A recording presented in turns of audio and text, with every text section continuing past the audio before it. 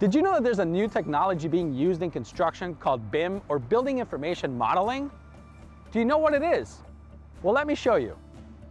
Over the last few years, BIM has become one of the most useful tools from concept through construction. For example, placing the windows and components that you're responsible for into a shared 3D model gives the general contractor the ability to see all of the potential conflicts or clashes before anything is built.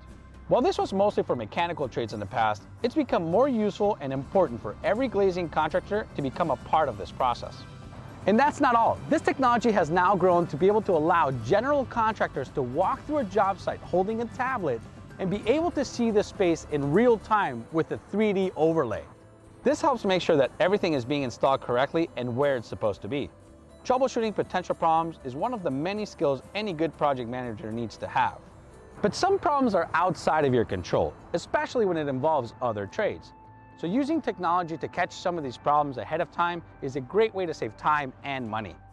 A huge shout out to MP Drafting for letting us use these 3D drawings for this video. And if you want to learn more about BIM technology and what they have to offer, check out their website. I'll put the link in the description.